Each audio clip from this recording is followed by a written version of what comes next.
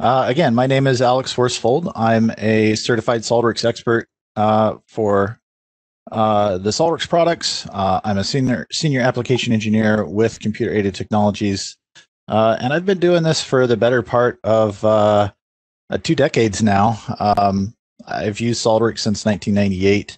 I've seen a lot of enhancements over the years, and this one is one that's uh, you know, pretty cool.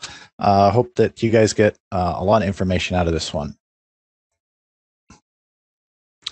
So for the agenda today, we're going to discuss uh, meshes. Uh, and uh, the first thing here is just importing. You know, there's lots of different types of mesh file formats. and you know, those can be imported as either solid bodies or surface bodies, as well as graphical bodies. Um, we'll talk about some basic workflows that you can use when importing. We'll also talk about uh, the different types of features that can be used. Uh, generally speaking, though, uh, anything that you're adding uh, is usually just added directly to the body. Uh, but if you wanted to maybe combine things, they have to be compatible. So we'll talk about that. Um, and then lastly, the, the very last uh, feature here on the agenda is something called scan to 3D. Uh, and for many years, this was the only way that we could import these types of meshes.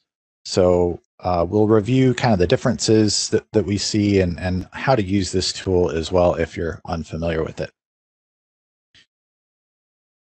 And as far as you know, importing mesh formats, I think it's important to point out that the uh, the standard version of SolidWorks can now import mesh files, so STLs, OBJs, and and uh, and whatnot there. Uh, but Scan to 3D is actually a, a pro and premium feature. Uh, so those higher level packages for SolidWorks are able to import uh, uh, different types of data and different ways to manipulate that data. but it's not just meshes; it's also point clouds. So we'll take a look at some of those examples as well today. Now, when you import, and we're actually taking a look at the system options here, if you go into um, just the, the import options, or if you're in the import window uh, and go to options there, you'll see that there's just uh, some simple options for STLs. So the the two options, solid body or surface body, those are going to bring in um, standard BREP, which is uh, just a body representation.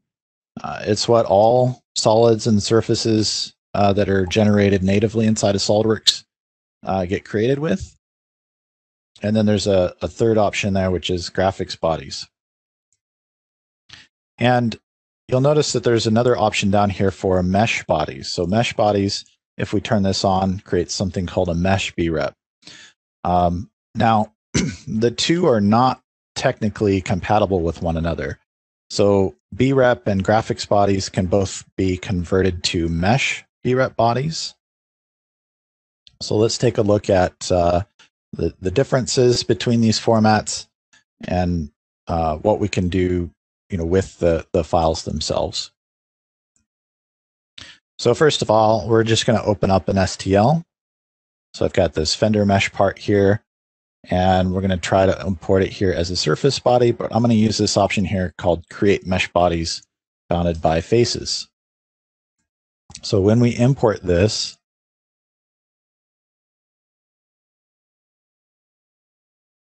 you'll notice that uh, if I click on the, the mesh itself, it creates or it selects, you know, one complete face. And if we look over here in the tree, we see that there's a, a different representation for a, a feature so that represents a mesh body. Now, if we open the same file, but without that, uh, that mesh body option, so we're going to turn that off. This time when we import the file, we're going to see a little bit of a difference here. Now, number one, you'll notice that this takes um, quite a bit longer to import. Uh, and that's because it's it's actually translating each individual polygon to a separate face within the software. And once it's opened up here, you'll notice that in the tree we get a standard looking uh, uh, BREP body representation in the, the feature tree. And if we kind of compare some other things here, you'll notice that again, we can select each individual face. It creates a, you know, a one flat face for each polygon. And you'll notice that it's not really smooth here. And that's because of the, the way that the polygons are laid out. They're all flat. But if we kind of look at the difference side by side between a regular mesh BREP, uh, a regular uh, BREP uh, part and a mesh BREP, you'll notice that on the right it's much smoother. And that's because of the, the way that it's that it's imported and translated into one face. So now if we go back to the regular BREP body here and we try to, you know, sketch over the top of it, this is going to react just like a normal SOLIDWORKS part. So if I turn on edges and start a, a 3D sketch, notice that I can, you know, reference edges, midpoints, you know, everything that I'm normally able to reference within that part. But if we switch back to the mesh BREP part and try the same thing with a 3D sketch, um, again, we'll turn on the uh, the edges here, but you'll notice that they're they're kind of uh, a lighter color, they're a little bit harder to see, but we can still reference those points or those vertexes on the mesh. What we can't reference though is things like midpoints. You'll notice that as I'm trying to find a midpoint there, um, there's no there's no data there to uh, to select. Um, there is, if you notice down here on the the filters toolbar, there are some some uh, filters that we can use to select those types of things. But if we um, if we have those filters turned on, we'll notice that you know things like selecting relationships there. I can't select that relationship, so if I wanted to delete it to be able to move that, I have to go do that from the tree. And even with filters turned on, if I'm trying to uh, you know line that up on top of another vertex, I can't drag and drop. I can add a relationship manually, like you saw there, but uh, you know, working with uh, mesh BREPs and graphics uh, bodies are a little bit different uh, when it comes to um, to this type of, of geometry. So finally, let's import a graphics body. Now this format is the quickest to open. And you know, there's still lots of things that you can do with graphics bodies. You can reference um, for, you know, creating new planes, new axes, things like that. And there you can see the, the graphics body uh, icon in the tree there. Um, but you really can't modify that geometry. And we're going to talk a little bit more about um, converting that here in a second. So if I if I select that icon up up there in the tree, it can be converted to a mesh body. You can also change the density of the mesh. We'll talk about that a little bit later. Again, that uh, group facets into faces. So once I complete that, now it's been the graphics body is, has been converted into a mesh body that we could then maybe modify, cut holes through, um, do all sorts of things with it.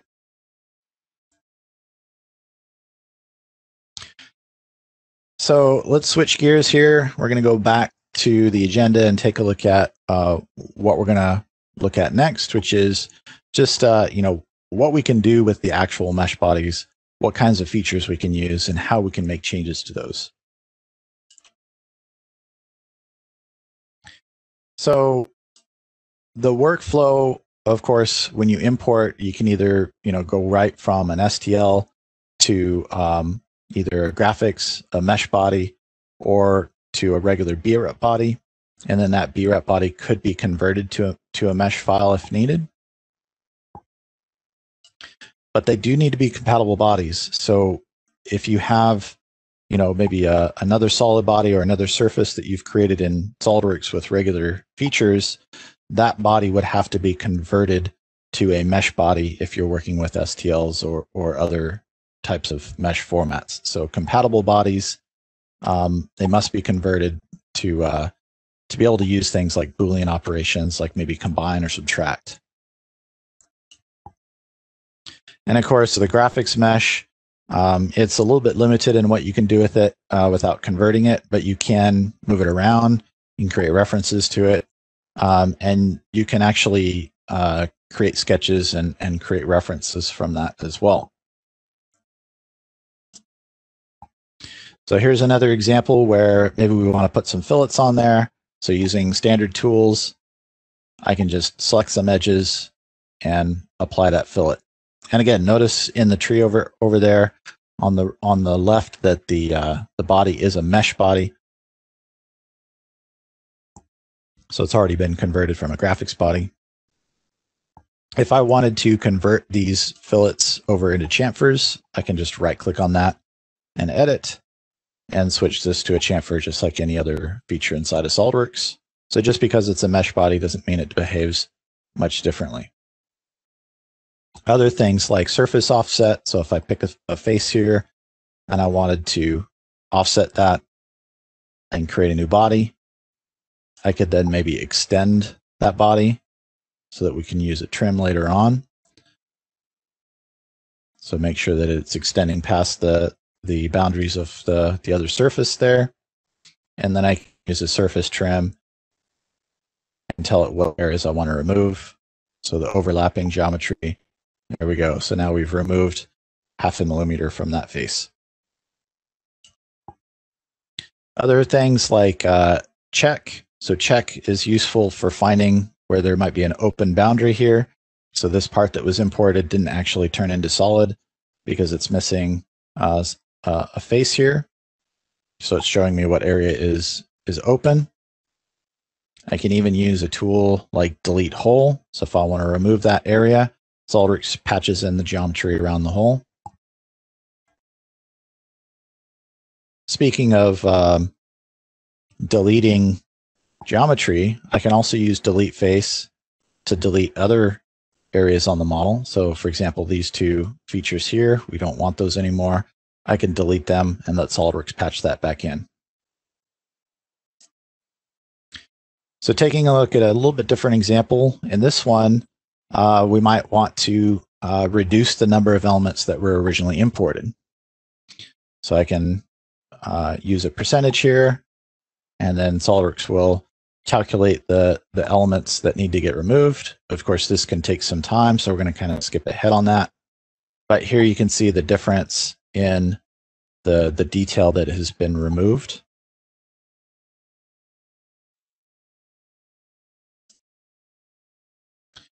Now we could also use this graphics body here to create other geometry from.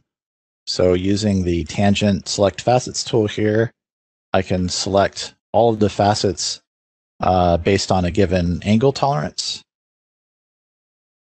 So I just easily select those elements there, and SOLIDWORKS is able to generate an axis based on the average of the position of those elements. So that's pretty neat. Once I've got that axis in there, I could use that to create a new plane. So here I've added a new plane and just looking at the definition of this. So I'm using the front plane here to just um, make it uh, parallel to that axis at a certain position there or perpendicular to that um, to that plane around the axis. And then on that plane, we could maybe uh, use a sketch to find the intersection of the mesh on that plane. So using this sketch here, so I used the intersect tool. Notice we're on the mesh modeling tab, but that intersect tool is also found in the in sketch tools as well.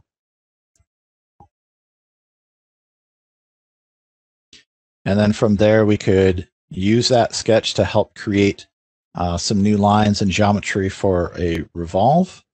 So here you can see in this sketch, that I'm just referencing the original intersection sketch that we referenced from the mesh.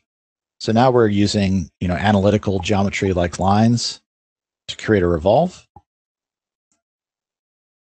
So now I've got more of a, a simple shape instead of a bunch of elements. And then I could use the same techniques to create the teeth for, uh, or, you know, that go around the gear. and then pattern that. And then finally, you know, a chamfer down here at the end.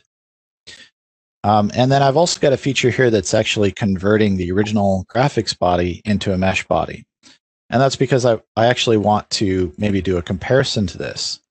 So the mesh body here, you know, once we created the other geometry, maybe we want to compare uh, what's been added and what's been removed. So if I select the, the original mesh there and the, the new body that I just created, this is going to give me a little bit of an analysis here that'll indicate, you know, how much uh, how much areas need to be uh, maybe still worked on, maybe another cut needs to be added.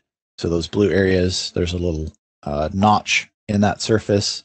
And then the red areas show me where geometry is uh, missing from the original mesh. So maybe I've got some more work to do in order to add those. But we can also look at this in the other direction too. So if we turn off that analysis and look at um, this in the other direction, if I select my uh, the new body that I created, followed by the mesh body, the analysis is going to show on the mesh body instead of the uh, the other solid body that I've created. So I can look at the analysis from from both directions if needed.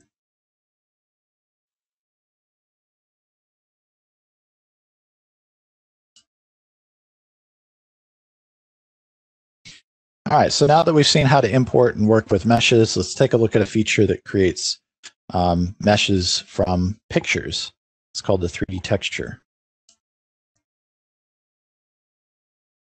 So 3D texture converts uh, black and white images into a mesh or polygons. Uh, another term for this is called a height map, where um, you know the different colors, the, the white and black are just binary to where uh, anything that's black is low and anything that's white is higher up uh, uh, as, a, as a height map. So that 3D texture uh, can be used to create a graphics mesh that can then in turn be used to create uh, a, a BREP mesh. So if we needed to make some modifications or, or make some cuts through it, we still have that capability. And the graphics mesh can also be saved directly to STL if you wanted to create a 3D print. So in this example here, um, we've got a simple looking cylinder, but uh, the thing to keep in mind is the, the texture is not limited to um, these types of shapes. You could actually use uh, you know, any kind of curved shape. But all I'm doing is I'm applying an appearance to that face. Uh, in this case, just the standard checkerboard pattern. Um, checkerboard might be cool, but I want something that's a little different than this. So if I go and edit my texture, so I'll just edit the appearance here, and I'm going to browse for a different image. Um, there are some 3D textures that come along with SOLIDWORKS here. So this path that you see, we can um, use one of the examples found in that folder. And of course, just like any other appearance, I can change the size of the texture or the image. And all I'm really trying to do here is line up the uh, the the the hexagons on the edge there where that seam comes together. Um, never mind the little bit of a graphics glitch that you see there. That's just um, a product of, of my setup. Uh, but once we've got that texture applied, you'll notice up here on the features toolbar, we've got 3D texture.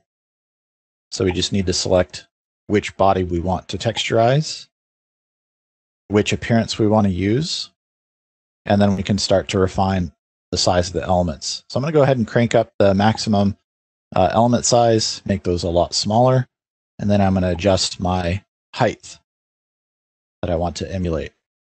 So right away you can see what's going on. Now notice there is a texture refinement slider there. I have it set at 0%. Um, and the reason for that is it's that that uh, slider is pretty time intensive. Uh, takes a little bit of processing power. Um, and really all it does is it, um, uh, any areas where you've got uh, uh more of a difference in change in the height, it will refine those elements in those areas. Um, I wasn't really concerned about that with this model, so I went ahead and left that part out. And then, like I said, this creates a graphics body that can um, even be saved out to STL. So if we create an STL and then open that up so you guys can take a look at it, I'm just using the, the Windows model viewer here. And this is the resulting file that gets created from that. So 3D texture is a great way to, you know, add some kind of, uh, you know, detail to the model that would be, you know, otherwise difficult to uh, to create with standard SOLIDWORKS tools.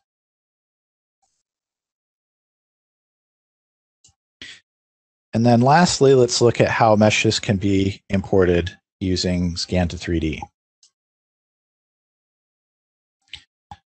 So we're going to go import a part here. So I've got a, um, a 3D mesh here. This is actually a VRML model. And you'll notice in the tree that the uh, the mesh is a little bit different. It's got a little bit different type of icon when you import with this method. And again, remember this is this is part of SOLIDWORKS Pro and Premium. So if you have standard, you won't be able to import meshes this way. But from here, I can right click on the mesh and there's several options here that I can choose from. Um, there is an option there that you can use to um, decimate or, or uh, adjust the the number of mesh elements that were imported. Um, in this case, you can see there's 28,000 faces. Uh, this is a this came in as a pretty clean mesh, so I didn't really need to change that. But if I if I wanted to adjust that, I can, and that's under this the uh, the mesh prep wizard. But on the surface mesh or the surface wizard here, if I had multiple meshes, I have the the chance to to pick a different one here. We only have one, so I'm going to continue. Now there's two different options here. We're going to start off with the guided creation one, but the automatic creation, uh, I'll, I will show an example here in, in a little bit. Um, and it's just that, it's, it's pretty automatic. The guided creation, what it does is it allows us to create individual faces from the mesh file. So uh, we can also optionally split the mesh. So if it was symmetrical, um, this part is actually symmetrical, but I didn't have a, a plane in the middle of the part to split it. So we're going to go ahead and skip this part. And then from here, what it's doing is it's breaking down the mesh into uh, into different individual faces. And this can take some time. So I've skipped past uh, some of that lag in time there. Now, at this point, I could hit apply, but there's a sensitivity slider here that I can use um, for it to automatically paint the surfaces. And if we kind of spin the model around here, you can see that each face is a different color. Each color is going to generate a, a new face for the model. But you can see that there's some some faces that are this uh, this red color uh, around that green face at the top that uh, you know SOLIDWORKS kind of kind of thinks that it's noise. Well, I actually want to capture that data. So once I hit apply here, it's going to apply the colors, but we want to actually go through here and um, and make some touch ups here. So for example, I can select the existing green color and just add these other elements to that, just indicating that it's, you know, that we want that to be part of a face. I'm not going to worry too much about accidentally selecting other colors here because we can make that change later on. But if I want a different face, I just select a new color and then select the elements that are going to be part of that new face. And again, making making uh, um, mistakes here is is just part of the because you're you're painting with the cursor. But again, if you make a mistake, you can just select the existing color for the face that's adjacent to it and select over the top of it. Now, of course, this is rinse and repeat. I'm just going to speed the video up here so that um, we don't waste too much time. But essentially, I'm creating another color for each individual surface that I want SOLIDWORKS to identify. Once I'm ready, I just extract those colors. SOLIDWORKS creates individual faces from those colors. Um, this does give you the chance to go back and make changes to this. So uh, I will show an example in a bit here on how we can modify that. But for now, we're just going to go ahead and go to the next step. We'll go ahead and accept this. And what SOLIDWORKS does is it generates a, a new face um, from each one of those colors that are basically touching the original mesh. From here, could continue our work if I wanted to trim these up.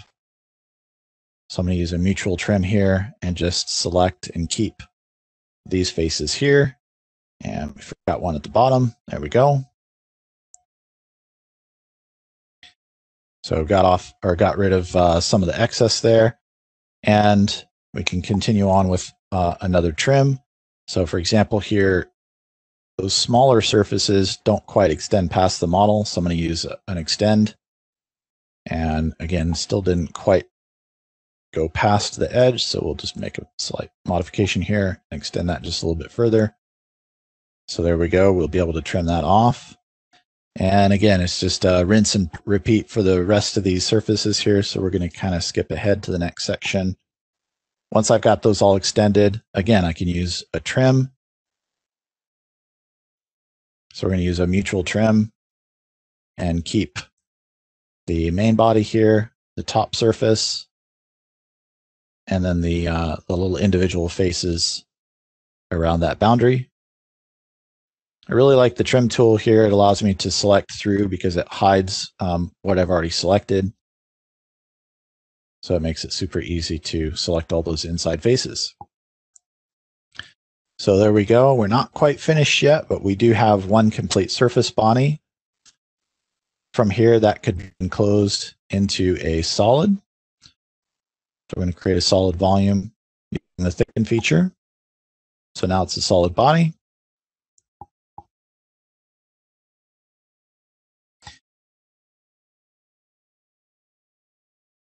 So what could we do from here? Well, if you notice in the tree, uh, we've got uh, mesh one and surface extracted one. So all those extracted faces get placed into an individual folder there in the tree. And then the individual broken out mesh files, those get separated as well. But we can go in and, and see each one of those meshes and we can make a comparison back to the sol that we just created. So if I right click on the mesh, there's an option here for deviation analysis. So just like we saw in the other mesh types, with the scan to 3D option, we can also create these types of analysis. So we can see, you know, exactly how much it maybe deviates from the surface that I just created and from the original mesh. And if I decide that this deviation is, is too much, then I can go back and make a change. So with that submesh that, that uh, got created, I can go right back into the same surface wizard, go back through the same guided creation tool,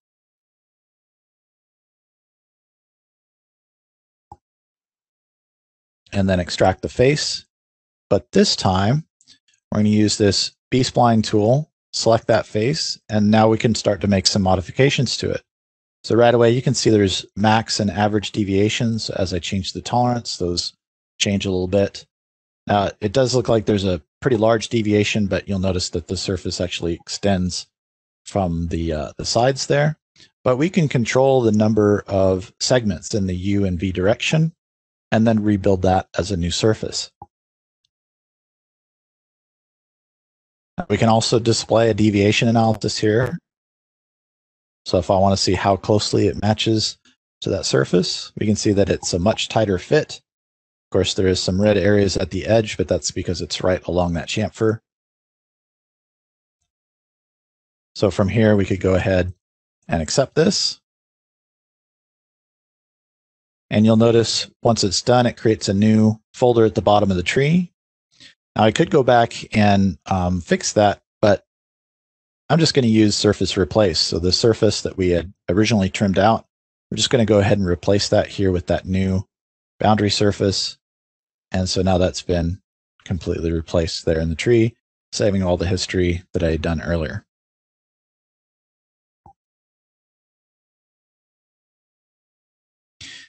Okay, so let's take a look at one last example. This time uh, with this mesh, we're going to go and use the automatic creation method. So for this one, since it's so organic, um, it would just be better suited to select each individual uh, or to, to let SOLIDWORKS uh, create each individual face for the model here. And all we've got here is this uh, little slider here for detail. We update the preview. And again, this takes some time to generate, so I have sped up this part of the video here. And what it does is it creates a patchwork of surfaces over the mesh body. Uh, and of course, because it's automatic, there are there is a chance that you might get some errors or some overlapping geometry. So you see that there are a couple of errors here. So once I click next, SOLIDWORKS will let me know that, hey, any surfaces that have errors, you know, these are going to be removed. So we'll go ahead and accept that. And then when it's finished, it's a, it ends up creating a new surface body, a new regular BREP body over the top of that, uh, that mesh data.